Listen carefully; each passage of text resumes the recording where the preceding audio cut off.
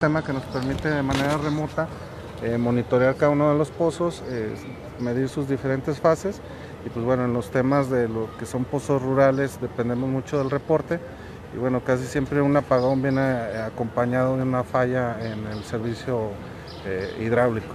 ¿Cuántas horas puede extenderse la falla a partir de que se Dependiendo de, dependemos mucho de CFE, lo que el tiempo de respuesta de CFE eh, puede ser variable.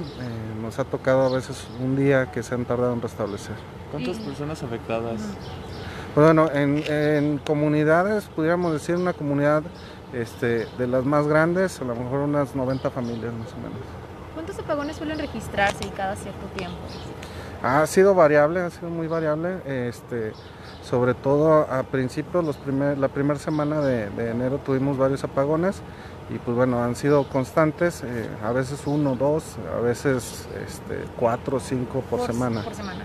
En la zona urbana no se han presentado daños. En la zona urbana sí, pero el tiempo de respuesta es mayor por el tema de CFE.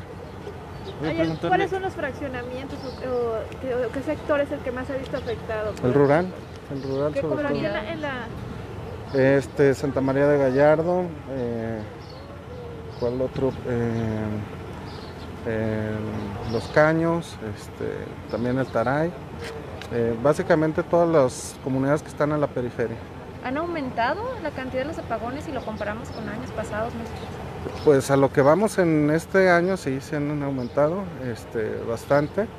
En Soledad de Abajo simplemente tuvimos una comunidad muy pequeña, pero hemos tenido varios apagones y pues bueno, son pozos pequeños que ah, en realidad cuando se va la luz en toda la comunidad pues se va también en el, en el pozo pues y se atiende de manera oportuna. Voy a preguntarle, viene la reforma energética fuerte.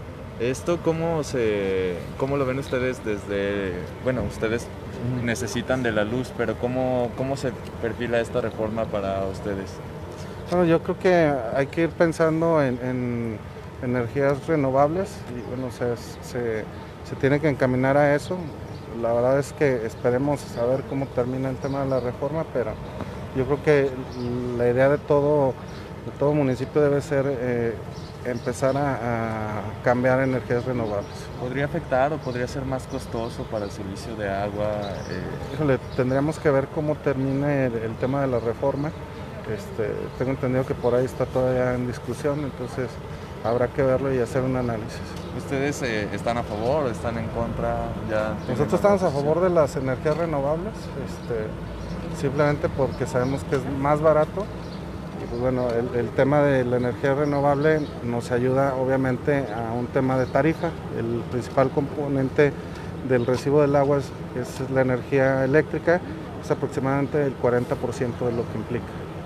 nada más en el tema ahorita del frío, ¿han tenido este reportes de que se truenan tuberías o...? Hasta ahorita no, lanzamos una, una campaña para ahora sí que la gente sepa qué tiene que hacer en esta temporada, desde, desde que empezó la temporada de invierno.